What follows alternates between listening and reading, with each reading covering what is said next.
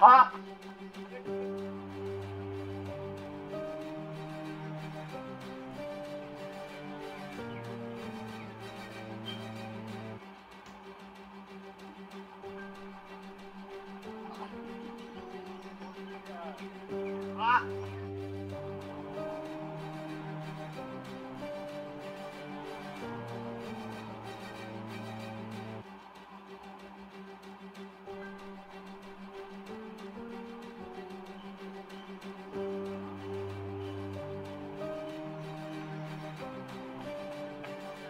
Thank you.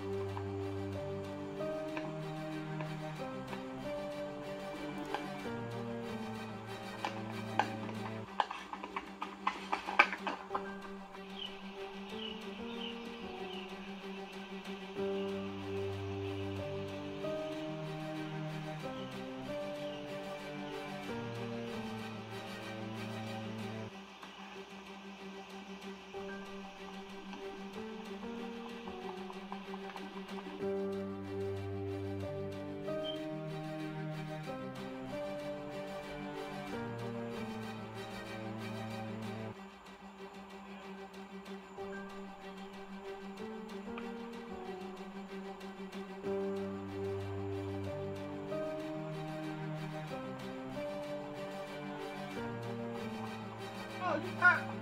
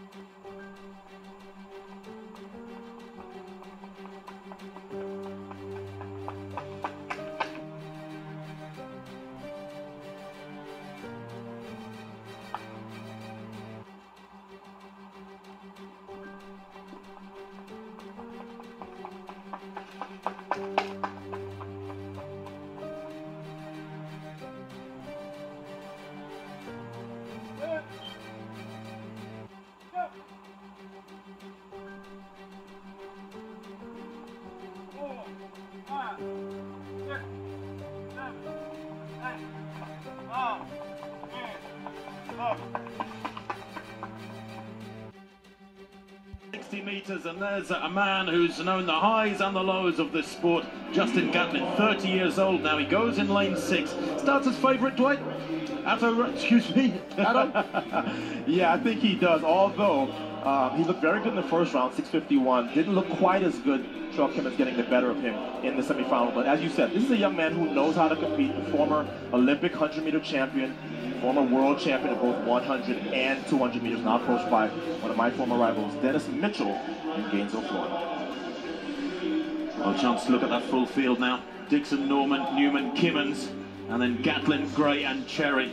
Lane 5 saw Phil de Rosier pulling out just uh, a little while ago. This is Justin Gatlin's first indoor campaign since 2003. He lost in Fayetteville two weeks ago to the world number one, the Jamaican Lerone Clarke, but he is in good form, as we know.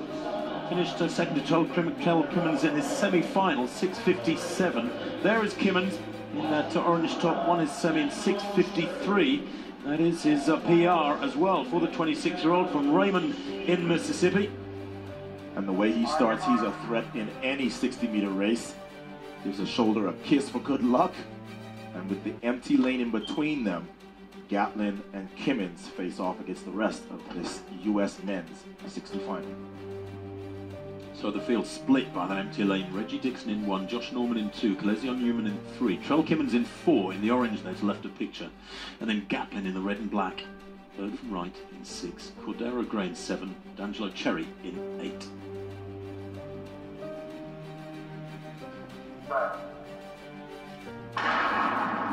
Good start there from Kimmons, really good start. Gatlin's got some chasing to do at the moment. Gatlin coming through, but Kimmons in the lead at the moment. Kimmons going to take it by a short head. Gatlin was coming back at him, but ran out of track. And that's the fastest time in the world. Both of them now with the first and equal second fastest time. So finally, this surface and the altitude, that's a huge personal best for Trell Kimmons. And both of them will head to the World Indoor Championships as co-favorites. That was some spectacular running by the two young Americans. Take us through it, Ato. There's Kimmons and Gatlin, center of the track. And I talked about Kimmons and how well he starts, but it's not just about reaction time. It's about where you are and how you're pushing in terms of your angles. Gatlin and Kimmons are two of the best. And look now, as they begin to come up to upright running, they are patient and going from down to up.